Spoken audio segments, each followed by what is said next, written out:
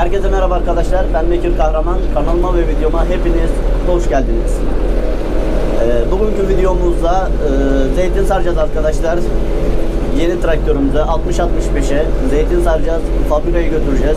Ee, bildiğiniz gibi zeytinyağı imalatıyla uğraşıyoruz. Ee, bahçelerden zeytinleri toplayıp e, müstahsilin zeytinlerini toplayıp fabrikaya götürüyoruz. Oradan e, zeytinyağını elde edip e, ister kendisi evine götürüyor zeytinyağını isterse e, bize parayla satıyor. Biz kendimiz bu işi yapıyoruz. Ekstra nakliye de e, hizmeti veriyoruz arkadaşlar. O yüzden bugün e, bahçeye zeytin sarmaya gidiyoruz. Altmış zaten çok aşırı bir şey değil. 20-25 çuval e, civarı falan. E, o yüzden Videoyu beğendiyseniz e, beğenmeyi, kanala abone değilseniz kanala, kanala abone olmayı ve güzel güzel yorumlar yapmayı ihmal etmeyin arkadaşlar. E, sizlere videonun akışını bırakıyorum.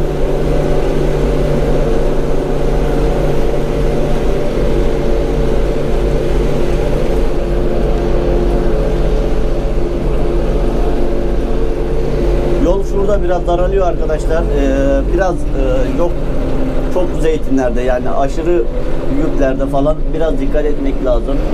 Şurası baya biraz dar. Bu traktörle ilk defa bu yoldan geçiyorum. Bakalım e, nasıl bir genişlik, nasıl bir darlık var. Yani buradan geçerse sıkıntı yok. Şöyle göstereyim. Zaten aşağısı şöyle baya bir uçurum. Allah muhafaza oradan e, bir tehlikeye şey yaparsa işimiz sakat. Traktörü kullanan arkadaşlar var mı bilmiyorum aramızda. E, hemen şu anda gördüğünüz gibi gö- gösterge devir saatinde. Şuradan sol taraf bastık. Kilometre hız gösteriyor şu anda. Yani bu doğru mu arkadaşlar? Yani şu kilometre hızı şu an doğru mu onu bilmiyorum. Ee, biraz sonra e, dönü, yükü sardıktan sonra dönüşte telefonu bir uygulama indirdim. Ee, kilometre hız göstergesi diye falan. Hem onu açacağım hem buradaki göstergeye bakacağım. Ee, yani bu mu doğru, telefondaki mi doğru yine onu bilmiyorum. Yani karşılaştıracağız hangisi veya eşit mi gidiyor. O yüzden yani bu gösterge doğru mu arkadaşlar veyahut da siz denediniz mi? Bununla alakalı bilgisi olan arkadaşlar bana e, yorumlardan veya Instagram'dan bilgi verirse çok sevinirim arkadaşlar. Şu gösterge işini çok kafayı taktım. Doğru mu değil mi diye. Neyse zaten varmak üzereyiz hemen. Allah. Laga varmış. Bu sene zeytinlerimiz bu tarafta biraz var gibi ama e, bazı genellikle genel ortamı şey bakılırsa randımanlı bir zeytinimiz gözükmüyor bu sene. E, yani bizim havuza dediğimiz şekilde. Geçen sene 10 ton zeytin yapan arkadaşlar, 15 ton zeytin yapan arkadaşlar bu sene 2,5-3 ton civarı bir zeytin yapıyor. O yüzden fazla bir yoğun geçmiyor sezonumuz. Ya Allah bunun azının bereketini versin. Yani yapacak bir şey yok. Nasibimiz buymuş diyeceğiz. Yolumuza devam edeceğiz. Evet. Arkadaşlar bizi bekliyor şurada aşağıda. Bakın arkadaşlar buralarda araba yolu olmamış olsaydı şu yarlardan yamaçlardan bu zeytinler ta e- atlarla eşeklerle beygirlerle ta köyü çekileceğiydi. Ya bu iş gerçekten ne bileyim emek isteyen, zahmet harcanan böyle çok alın teri dökülmesi gereken bir iş. Evet geldik şimdi. 22 parça bir zeytinimiz varmış burada. Ortalama yine 50'şerden gelse pardon 1100 kilo falan bir zeytin yapar. Bir yükümüz var. Hemen şöyle göstereyim.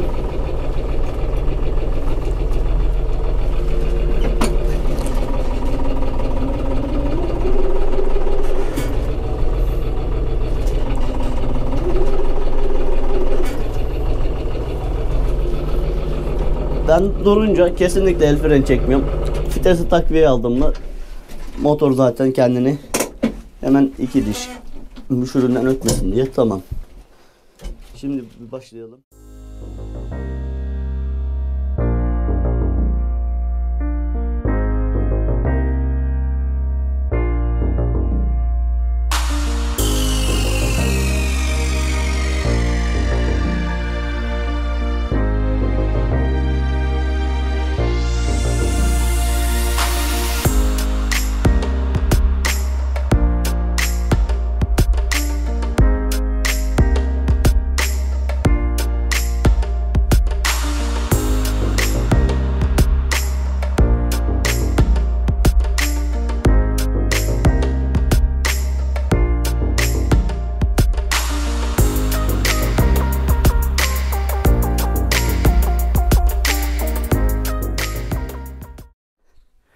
Evet arkadaşlar.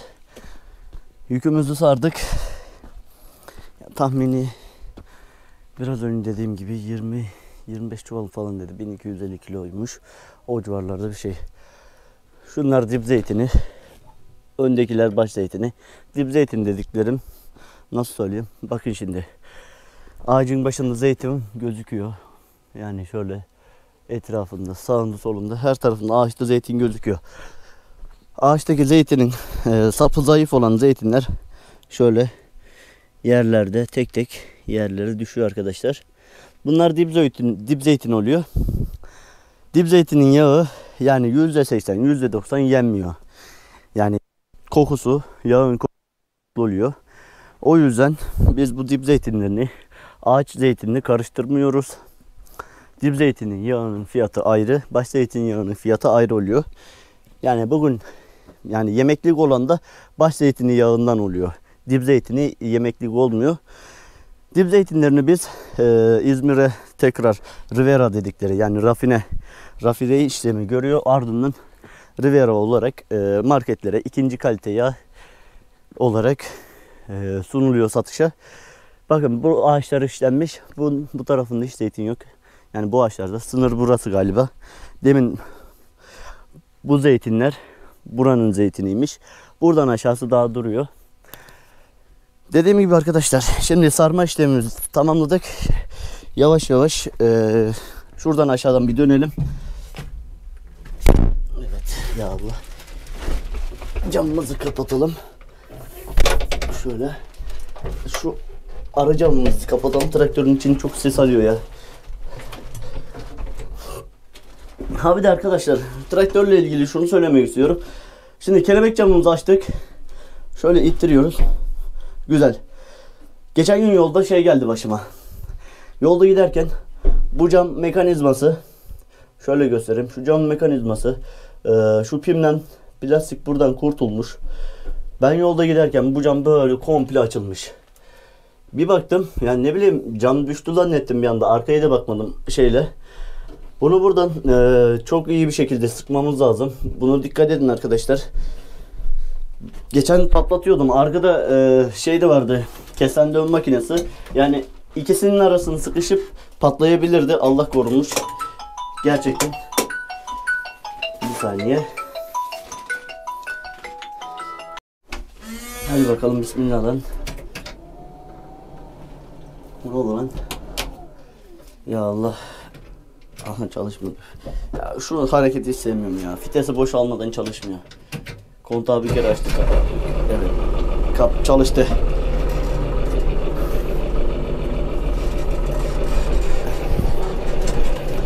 Ya bunun nesini sevdim biliyor musun? Freni basınca otomatik kendisi 4 çarpıyı bağlıyor ya. Ekstra buradan yamaç aşağı giderken eee 4 çarpıyı bağlamamızı gerek kalmıyor. Gerçekten hani e, tamam bir kolaylık olmuş. Bir yandan da iyi değil aslında. Düz yolda bile giderken eee, basıyorsun. Zaten çıt çıt çıt girip çıkmada yani şey yapmada çıt çıt çıt diye ses çıkarıyor. O yüzden pek şey bir yandan iyi bir yandan kötü. Sürekli girip devreye giriyor, sürekli devreden çıkıyor ya. O yüzden kötü. Şimdi buradan bir geniş yerden bir dönelim. Hemen şöyle arkaya şöyle şuraya geniş yer verelim.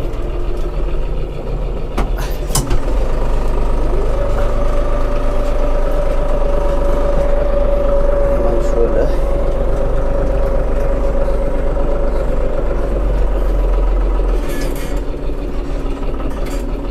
Evet. Şimdi bir şey denemek istiyorum arkadaşlar. Rampayı gördünüz. Rampa burası. Ha, belki kamerada tam randımanlı belli olmayabilir. Bakalım çekeri bağlı mı lan? Bakın çeker işi yanmıyor. Çekeri bağlı değil. Buradan da zaten kapalı. Çekeri bağlı mı lan? 20 e, kaç 25 çuval falan. Çıkarabilecek mi? Ona bakacağım. Şu anda eşinmeye başladı biraz. Evet yol biraz kapatmaya başladı. Ama eee, şey yapmıyor, oturmuyor yere. Evet. Şu son düzlük sayılır. Şuraya da tırmandık mı? Evet. Buradan çıkardı. Yukarıda biraz daha kabı bir yer var. Taşlı, çakıllı. Oradan da çıkartırsa gerçekten mükemmel. Artı bunun e, böyle çekersiz çıkmasının sebebi şu. Yükü biraz önlü yaptım arkadaşlar. Yani traktörün götüne biraz daha affedersiniz yük bastı. Yani ben bu yükü az deyip böyle romu yaymış olsaydım traktör e, şey yapardı. Traktörün götüne yük basmazdı. Yani bir ekstra bir güç, ekstra bir teker takviyesi isterdi. Yani ben, benden çarpıyı bağlamamı isterdi traktör. Daha rahat çıkmayı isterdi. Ama e, ben önü yüklü yaptım, şey yükü önlü yaptım. O yüzden çeker istemedi. 4 çarpıyı bağlamamı istemedi. Evet, bakalım.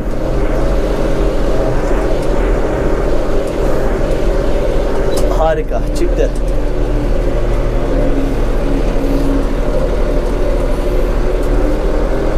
Arkadaşlar bu yıl e, zeytinyağı fiyatlarının tarih e, şöyle söyleyeyim 3 düzen arası yani 0-3 düzen gelen zeytinyağlarını 80 liradan e, fiyat açıkladı arkadaşlar.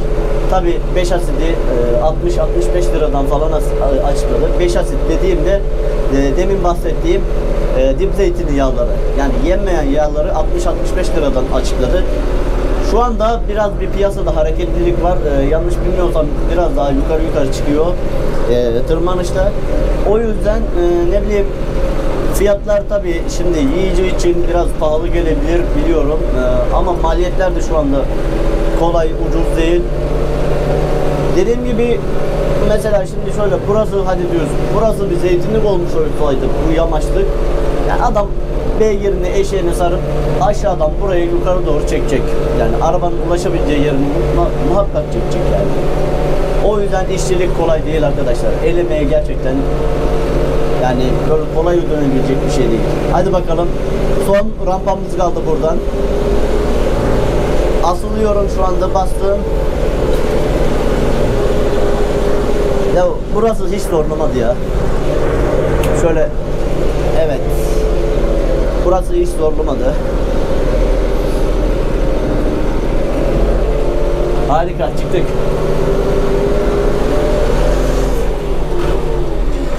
Seri 2 Vay canına.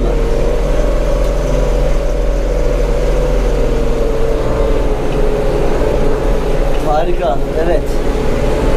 Şimdi şurayı deneyeceğim. Buraya seri 2 ile yer mi yemez mi? Hafif bir tatlı meyil bir rampa var bakalım. Yiyecek mi? Hadi koçum. Oo hiç haberi bile olmadı hiç. Yuhuu. Harika. Ara gazımızı ihmal etmiyoruz. Hın hın hın hın. Evet şimdi seri 3 Hop hop hop hop hop hop.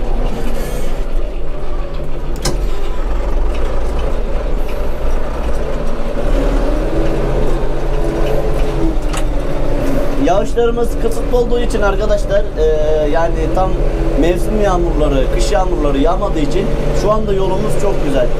Eee, mevsim yağmurlarımız yağmış olsaydı buralar gerçekten yani ne bileyim şu anda adamlar eee, yani zeytin sahipleri falan kartallarla böyle eee Tofaş kartal taksilerle falan kendi araçlarıyla gelip gidiyorlar. Ama eee, bu yağmurlarımız güzel olsaydı, normal böyle kısıtlı yağmur olmasaydı ee, kesinlikle Kartal taksiyle gelinecek bir yol değil arkadaşlar. Biraz önce geçtiğimiz dar kesim, dar yer yani yukarıdan hafif bir göçme yapıyor. Yani yolu yokuş aşağı böyle e, yamaçtan yamaca doğru meyillendiriyor. Yani geçmekte bayağı bir zorluk, güçlük çekiyoruz. Ya Allah'ın tabi bunun da vardır bir bildiği. O yüzden inşallah yağmurlarımız e, düzenli olarak tek yağsın. Yani duamız bu yönde olsun. Yağmur olmazsa mahsul olmaz arkadaşlar. Yağmur olmazsa insanlık olmaz, hayvan olmaz, hiçbir şey olmaz.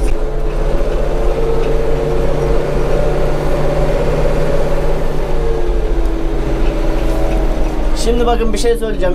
Onu deneyecektik. Evet telefonumuzu açtık. Şöyle GPS hız göstergesi diye bir program var arkadaşlar.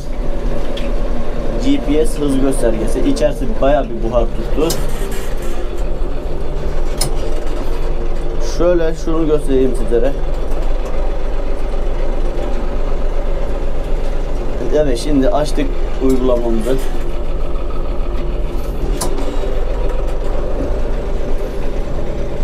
Reklamları geçiyoruz.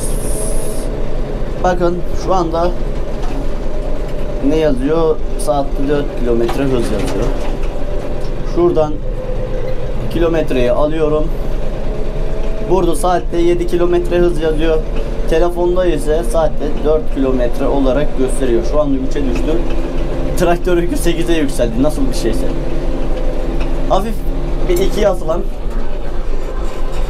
Evet. Şu anda ikiye asıldım. Traktör 11'e 12 13 çıktı şu anda. 13 sabitledim. Telefonunki 9, 8, 10 arası gidip geliyor. Sizce arkadaşlar telefonun kimi doğru, traktörün kimi doğru? Ben hangisine inanayım?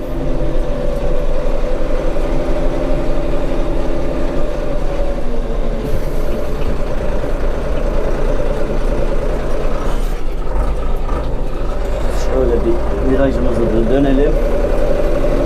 İçerisi bayağı sıcak oldu. Buhar yapmaya başladı traktörün içerisi. Ya şu işi bir çözmek istiyorum arkadaşlar. Telefon mu doğru, traktörün hız göstergesi mi doğru? Yorumlarda bir bunu konuşalım arkadaşlar. Sizce traktör mü doğru, ee, şey ki telefonun hız göstergesi programı mı doğru? Bakalım hangisi daha doğru? Sizin de var mı bir bildiğiniz, bir yetiniz? Onu orada bir tartışalım. Camı açacağım arkadaşlar. Biraz ses gelebilir. İçerisi bayağı bir buharlaşma yaptı. Camı açtık ama dikkat etmem lazım. Şey yapıyor.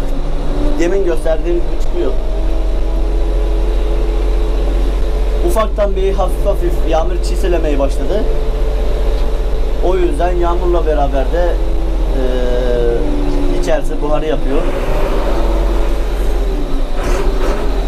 Ara gazımızı kesinlikle ihmal etmeyeceğiz.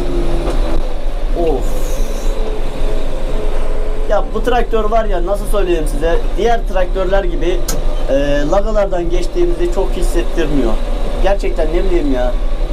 Ben beğendim. Yani konforunu, kullanışını şöyle olsun. Hakimiyet alanı olsun. Yani ne bileyim kısıtlı değil arkadaşlar. Her şey elinizin altında. Hmm, Şöyle üst tarafa baktığımız zaten tüm ışık veya klima e, diğer opsiyonlar diğer e, opsiyonlar olsun. Her şey kafamızın altında. Solumuz, radyomuz. O- Buradan bir salacağım şimdi. Bakalım. Şimdi burayı bir dönelim şu virajı da. Telefondaki gösterge 15 gösteriyor. Burası 23 gösteriyor.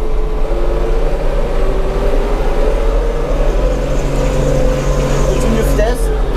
Dörde asıldık. Ice, ice, ice, ice, ice, ice. Evet, önümüzü gördük. Kapattık.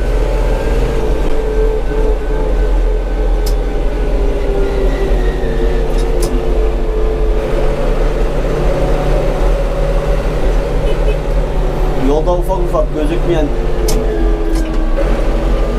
ufak ufak gözükmeyen lagalar var arkadaşlar. 24, 30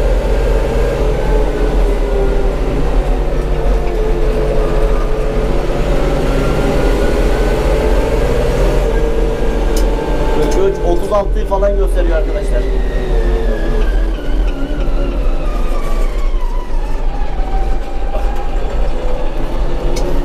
Ya bir de var ya böyle aşırı hızlı gidiyorsun. Freni bir anda basmak istedim. Yani fre- fren hani bastığınız o hemen otomatik olarak algılamıyor. Yani 1-2 saniye sonra kendini tutmaya başlıyor. O yüzden pek hoşlaşmadım ben bu freni. Yani yeni olduğundan mı bilmiyorum. Biraz sola doğru çektiriyor bir de.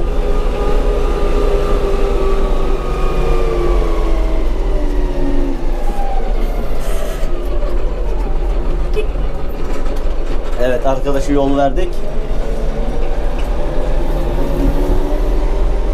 Neyse arkadaşlar eee, bu traktörü kullandıysanız bu traktörü daha önce kullandıysanız veya şu anda kullanıyorsanız Yani iyilerini, kötülerini, tecrübe ettiğiniz e, şeyleri bir yazın.